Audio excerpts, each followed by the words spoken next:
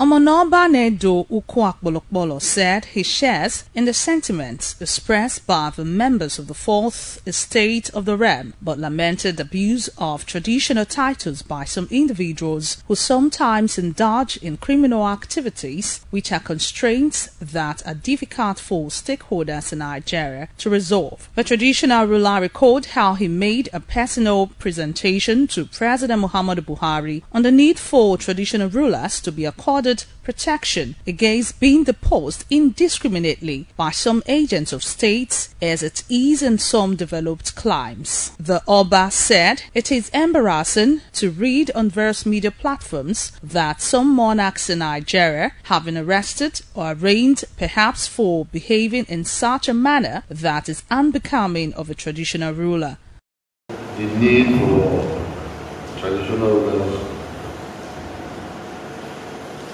not just to be, uh, as they say, or, or removed from office or from their traditional power by governors of the state, which sometimes we hear. Almost everybody is His Royal Majesty, His Imperial Majesty, His Royalness, and so on and so forth, even on the streets. And then we hear things like traditional ruler of such and such a place was arraigned.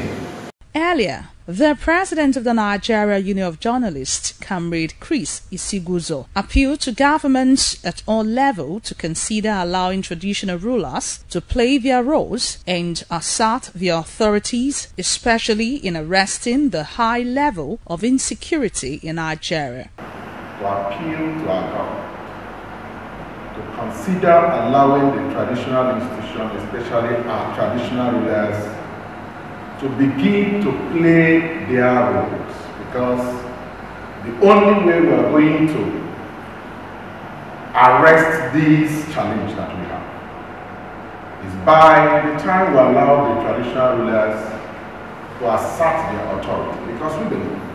Sharon Ajayi reporting.